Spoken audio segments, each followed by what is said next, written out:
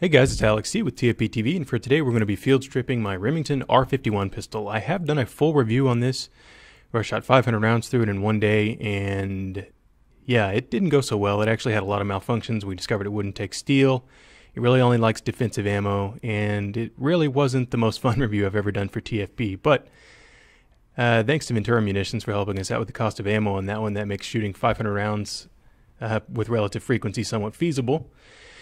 And the R51, you know, there's so many things I like about it. It feels great. It's actually pretty ergonomic for a smallish gun. I just wish that it was a, a, bit more reliable. But anyways, on with the field strip. You can see this little relief cut here in front of the slide catch notch. So pull it back and then pull out the slide catch like you would on a 1911 pistol.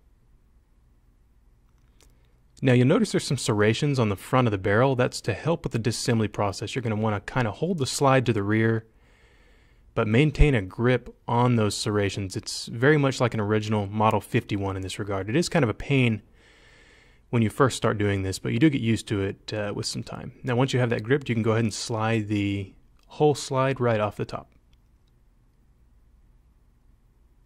Now, at this point, the frame is done, and let's go ahead and take a look at the surface that the breech block contacts. Um, these being hesitation lock guns is actually quite interesting. I know the original Model 51s had a problem with this area getting really torn up and really chewed up. But after 500-ish rounds, this one actually looks okay, just the finish is coming off, which is to be expected.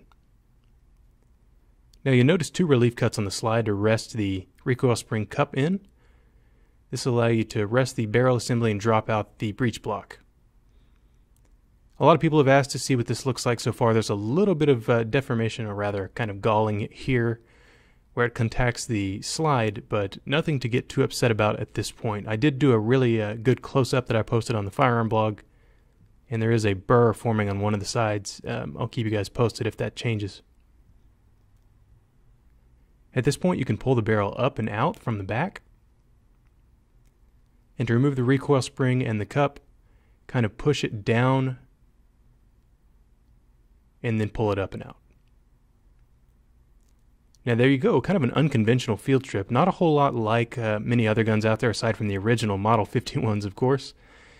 But a little bit different uh, than something most people are used to. Since it's not a short recoil operated tilting barrel gun, a lot of people are almost put off by it. Um, if you're going to be put off by this gun, make uh, make the performance that this or my, our review and other reviews have shown uh, this gun to have or lack, however I could best put that. But you know, I really wish these worked. They feel great. They're they're cool guns. They function like the original Model 51s.